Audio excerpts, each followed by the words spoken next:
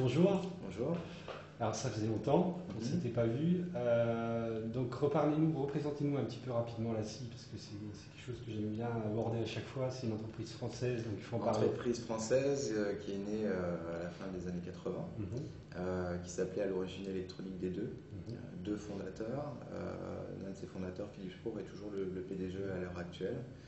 Et milieu des années 90, euh, l'expansion de la vers l'international, euh, par le rachat justement d'une société euh, américaine qui s'appelait euh, la CI, qui était à l'époque une filiale de Quantum, qui était bien connue dans le monde du disque dur à l'époque.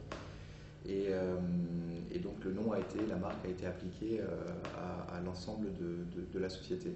Aujourd'hui, c'est une entreprise qui est toujours française, dont les locaux sont toujours basés en France. Le, le groupe La Scie est en France. Vous avez également la filiale française, la filiale export, euh, la partie logistique, R&D, marketing qui sont situées en France, euh, qui comptent donc 450 employés euh, et euh, des ouvertures de filiales assez euh, régulières. La, dernière ouverture s'est faite à Dubaï, marché donc euh, Moyen-Orient qui, se développe également, euh, notamment euh, avec cette petite, solution euh, Golden Disk. Euh, donc c'est toujours une entreprise euh, orientée euh, disque dur et qui se développe quand même sur d'autres médias, comme vous l'avez pu le voir avec Patrick maintenant sur, les, sur le multimédia, qui, qui se développe de manière significative ces dernières années, mais également sur le réseau. Mhm. Euh, on a toujours été euh, des précurseurs sur le réseau. Ça fait euh, depuis 7 ans qu'on a sorti notre premier disque du réseau. Donc en 2001, on avait sorti notre premier disque réseau. Et donc maintenant, ça prend plein de directions différentes parce qu'il y a plein d'usages différents pour du stockage. Il y a le stockage directement attaché au poste de travail simple USB. Il y a le stockage plutôt dédié Mac avec euh, les connectiques Firewire, haute performance avec le eSATA, le RAID, le Mhm. NAS entreprise, le, le NAS à la maison. Donc il y a vraiment toute une, toute une gamme complète autour du stockage. On a, on a, on a un catalogue produit qui s'étoffe de, de- de jour en jour, qui permet de vraiment d'adresser tous les besoins euh, du marché à l'heure actuelle.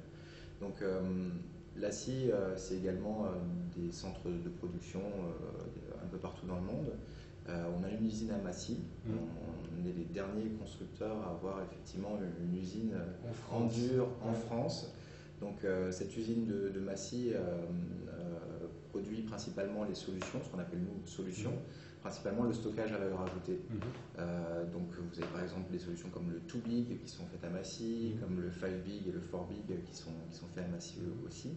Pourquoi? Parce que euh, la- la- les procédures de test euh, sont plus rigoureuses, nécessitent une main-d'œuvre plus qualifiée, euh, parce qu'il y a plus de réactivité également pour l'approvisionnement du marché sur, ces, sur ce type de solutions. Et donc euh, les procédures de test également qui sont, euh, qui sont faites en interne euh, par nos soins et qui, qui permettent de, de valider des, des produits qui sont dans, dans- le milieu professionnel sur lesquels on a, on a beaucoup d'exigences en termes de fiabilité et de performance. Et vous maîtrisez réellement la chaîne de, de test, par exemple, c'est vous qui développez vos, vos propres Nous développons, nous développons nos outils de test, euh, donc que ce soit un simple disque euh, à tester les interfaces, Mhm. Euh, un disque dur réseau euh, ou RAID, on va euh, faire du picking dans certains produits et tester effectivement des reconstructions de RAID pendant des heures Mhm. pour savoir si le produit est parfaitement apte à, à- à tourner et à être commercialisé. Donc ça, ça fait partie de nos atouts.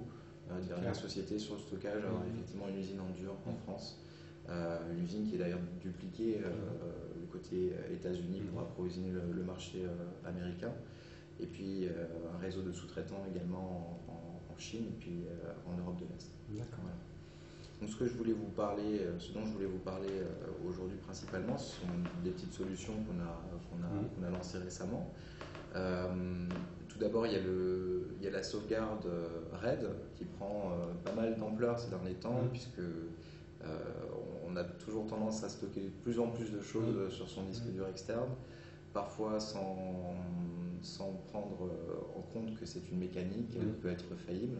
Alors effectivement, on va pas, euh, on, on- on peut faire confiance à un disque dur, mais il faut quand même, euh, il faut quand même savoir sauvegarder et Mhm. avoir la bonne méthode. Sauvegarder, c'est avoir euh, ces données en dur dans son ordinateur et en faire une copie Mhm. sur un disque dur externe. Ce n'est pas mettre toute sa vie sur un disque dur externe, parce que là, pour le coup, c'est plutôt risqué. Par contre, pour les, mauvais élèves, on a quand même une, petite solution. C'est notre Too Big, mm. qui est ultra simple en fait. C'est le Too Big Quadra. Quadra chez nous, c'est toujours quadruple interface. Il y a l'USB 2, le FireWire 400, le 800 et l'ISATA là, pour le coup, on adresse toutes les connectiques du marché, toutes les performances du marché. Et le 400, il est toujours là, le 400 Et le 400 est toujours là, toujours là chez la CIE. Parce que, euh, Parce qu'on aime toujours, euh, on aime toujours le monde Mac. Et, euh, effectivement, bah, le parc installé est toujours sous ces connectiques-là. Il y a pas mal d'équipements encore qui sont en, mm. FireWire 400. Bon, là, pour le coup, on est même tranquille en, FireWire 800 et on est même tranquille si un jour Apple décide de mettre de ISATA en standard de machine. On ne sait jamais. On ne sait jamais. Donc là, pour le coup, c'est une solution directement attachée à votre, à votre PC ou à votre Mac. Euh, c'est transparent pour vous. Vous choisissez le mode RAID qui vous convient. Mhm. Donc, soit vous utilisez la capacité totale du disque, sans aucune autre configuration de, sécurité, euh, soit vous faites un miroir, c'est-à-dire que tout ce que vous allez y envoyer va être dupliqué systématiquement d'un disque dur sur l'autre. Mhm. Le principe est simple, si vous avez un disque dur qui vient à lâcher, euh, sans que vous éteigniez l'unité, elle continue à fonctionner, vous continuez à avoir accès à vos données. Il y a peu de disques euh, d'entrée de gamme comme ceux-ci, euh, RAID à deux disques, qui, proposent une solution réellement hot plug. Mhm.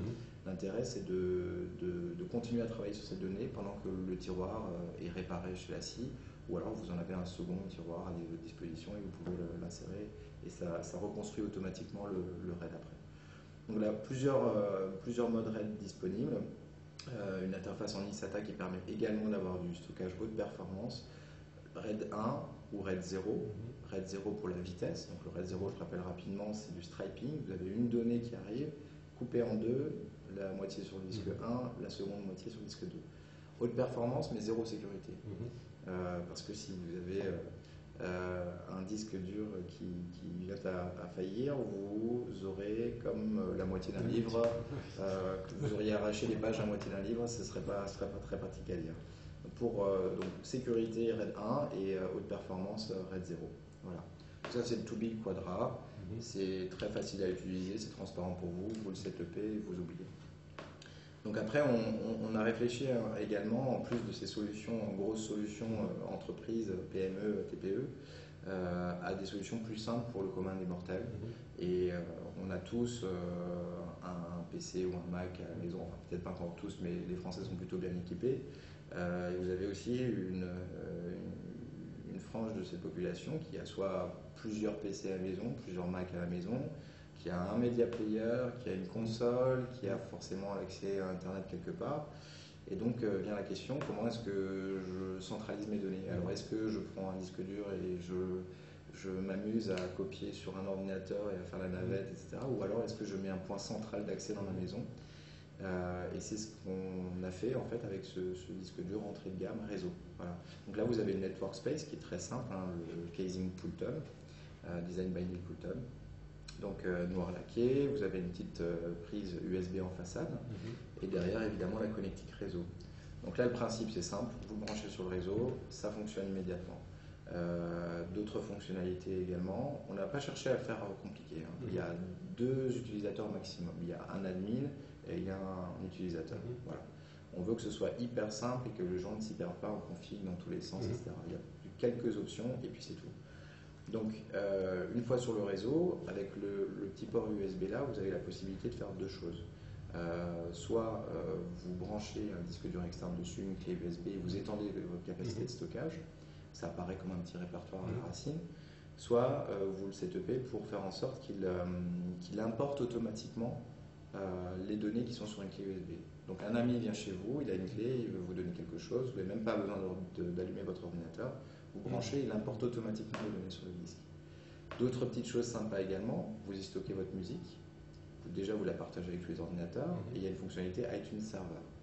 Donc euh, en fait, vous ouvrez euh, tous les iTunes qui sont sur mhm. votre réseau local, enfin tous, hein, je ne sais pas, deux, trois, peut-être pour les geeks 4 ou 5. Euh, et en fait, dans la fonctionnalité playlist partagée, vous avez toute votre musique qui apparaît. Donc euh, dans la chambre, vous écoutez ci, dans la cuisine, vous écoutez ça, dans le salon, vous écoutez autre chose, ça fonctionne. Autre fonctionnalité, peut-être un petit peu barbare de nom, mais extrêmement simple en réalité, c'est l'UPnP AV DLNA. C'est barbare. Le principe est pourtant simple. vous avez